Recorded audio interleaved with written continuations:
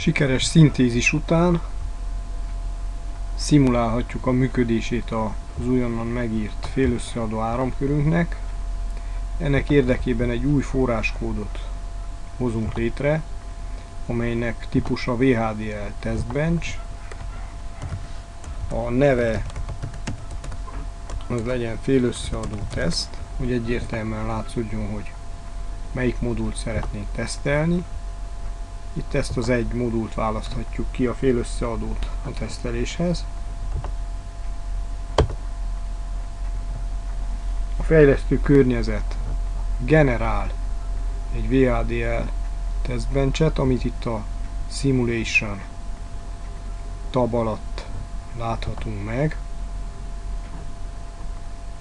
A testbench pedig így néz ki, ez is egy VHDL modul, amiben a tesztelni kívánt komponenst deklarálta már a fejlesztői felület. A bemeneti jelek az A és a B két összeadandó bit, a kimenetek pedig a félösszeadónak a szumma kimenete, illetve a túlcsordulás kimenete. Mivel a félösszeadó egy kombinációs logikai áramkör, nincs szükségünk órajelre, nyugodtan kitörölhetjük azokat a sorokat, ahol az órajel deklarálva van, illetve azt a processzt is, ahol az órajel változása van megírva. Egyedül csak a tesztelni kívánt modult kell meghívjuk. Még van itt egy órajelre vonatkozó sor, ezt is kitörölhetjük, és ezek után, hogyha lementjük a VHDL testbenchet, akkor a konzolban eltűntek a hibák. Az Insert Stimulus Here sor után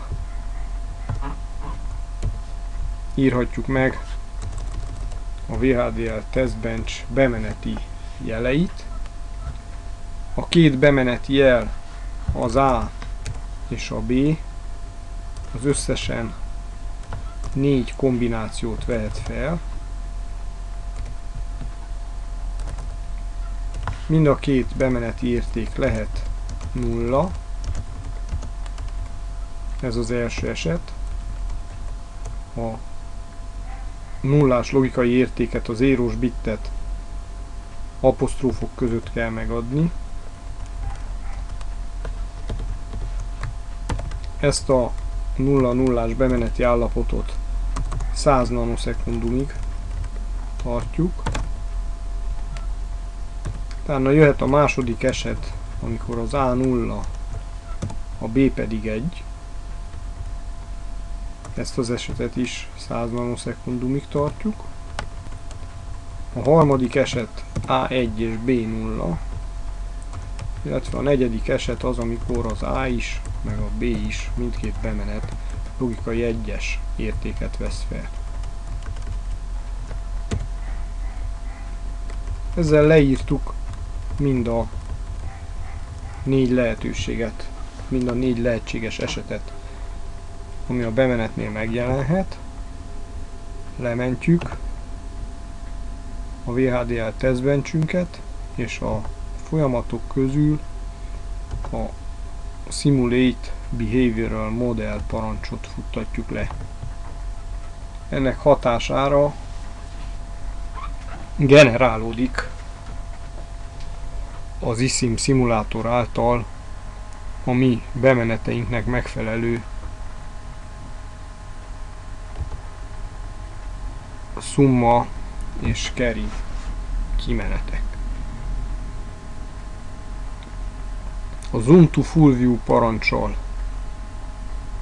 nagyíthatjuk meg a jeleinket, és akkor észrevehető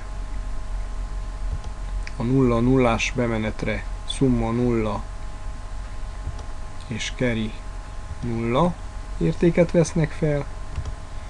A 0-1-es bemenetre az összeg az 1, túlcsordulás 0. Egy nullás bemenetre az összeg ugyancsak 1, és a túlcsordulás 0, míg a egy egyes bemenetre a szuma 0, és van egy túlcsordulás bittünk.